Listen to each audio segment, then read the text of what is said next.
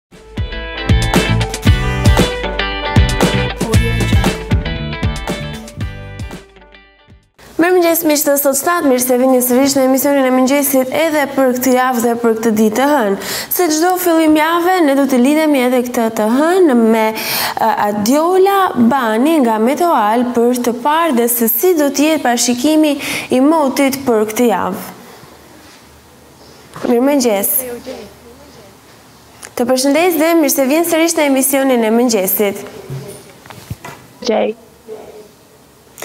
Edhe si do të jetë parashikimi për këtë javë, si do të vijojnë temperaturat përgjatë javës në juglindje të vendit dhe në të gjithë Shqipërinë? Në fakt, kjo javë për zonat juglindore ka nisur me kthjellime dhe vranësira të herëpashershme, situatë e cila vijon Sot gjatë gjithë ditës, edhe pse pasditja na sjell prezencë më të dukshme të kthjellimeve, sërisht ato do të vijojnë të mbeten prezente sot gjatë gjithë ditës. Dita e martë është ajo e cila do të na sjellë mot më të kthjellët në të gjithë zonën juglindore.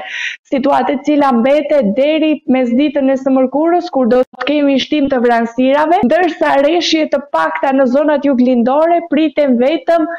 gjatë orëve të mesditës së ditës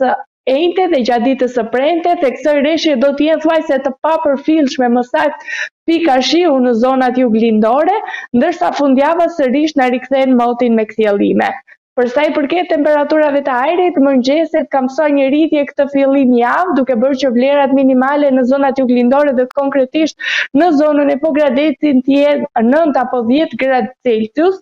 Do të kemi një tjetër rritje gjatë uh, mëngjesit të ditës së martë dhe mëngjesin e ditës së mërkurë, duke i ngjitur kështu vlerat minimale në një 10-12 gradë Celsius, por e enjtja dhe e premtja do të sjellin një rënie me 1-2 gradë sigurisht gjatë vlerave të mëngjesit. Mesdita në zonën e Pogradecit do të luhatet rreth vlerës 21-22 gradë Celsius deri ditën e enjte dhe të premte, më pas fundjava na sjell një rritje me 1-2 gradë, duke bërë që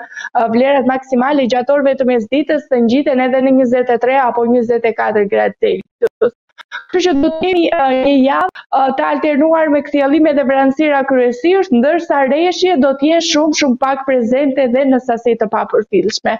Ndërsa për sa i përket kushteve të motit në të gjithë territorin shqiptar, sot paraqitet Kryesisht me kthjellime të herëpashershme i gjithë territori ku gjatë orëve të mesditës presim shira afatshkurtër dhe të pakët në zonat veriore kryesisht dhe më pak në zonat qendrore, dita e martë na sjell vetëm reshje të izoluara gjatë orëve të paradites në zonat lindore, ndërsa e mërkura paraqitet me kthjellime kryesisht në të gjithë vendin. E enjtja e premtja na rikthejnë sërisht reshjet e pakta dhe të izoluara për të na rikthyer sërish motin me diell gjatë fundjavës. Për sa i përket temperaturave të ajrit, kjo fillim javë ka sjellë rritje gjatë mëngjesit, po ashtu presim dhe gjatë orëve të mesditës, ku maksimumi sot parashikohet mbi vlerën 26 apo 27 gradë Celsius, kryesisht në zonat jugore shënohen temperatura më të larta gjatë kësaj fillim jave,